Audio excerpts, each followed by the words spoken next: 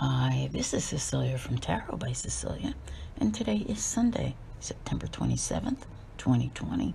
The tarot card for today is the Two of Cups from the Whispering Spirits Tarot by artist Joanna Nelson. How about, how about, because I don't know if you've seen the cards that are coming up. You will.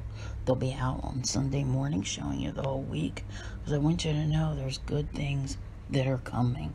Yesterday we talked about leaving all that lack behind. Today is about making an awesome personal connection.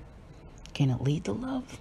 Mm, I'm a little iffy on that because Mercury has entered shadow and today it will enter the sign of Scorpio. But if you are single, and looking to I don't want to use the word mingle in the age of COVID, but looking to, you know, connect with someone, you know, of like mind and or whatever that you can enjoy their company.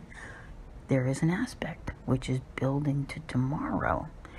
Venus trine Mars, right? Yeah. Venus is all about love and money. And of course, Mars, as you know, is currently retrograde in home sign of Aries. But this is a good aspect for that first date, maybe that first encounter. You never know who you might meet, okay? In this day and age, sometimes you really don't even have to leave home to meet someone. But I really feel that there is a meaningful connection that is here. Um, it almost feels like something that's shared and equal, okay? You don't often find that, okay? So whether it's a love connection or any other type, even just a friend, it's wonderful to connect with someone with whom you can not only be yourself, but you're on the same page, all right? And, you know, it, the, the give and take is equal. I think the equality is what's important, having the respect that is there. And I am so feeling it with our two special little spirits here. All right, it's not very often, you know, we get feel good aspects, aspects that lend themselves to, hey, you can actually go meet someone today, right? Doesn't always work out that way. Granted, you may not be able to make it into something until a little bit later, all right?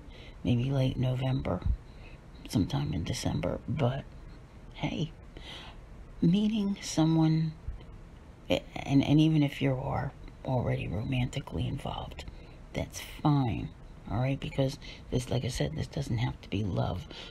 The word I used was meaningful, okay?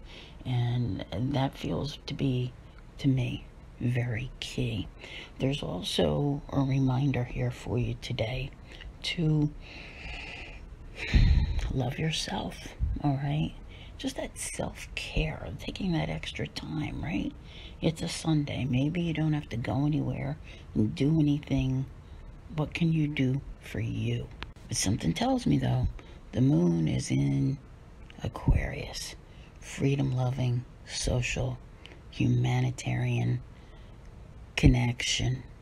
Aquarius loves to connect with people okay it's it's right right here it's just what is and you know pay attention you may meet some valuable connections which you know you reap the benefits from them later on down the line i don't feel like it's right this moment but see where they lead okay because the fact that this is here i'm telling you it feels significant to me and I think that that is very notable.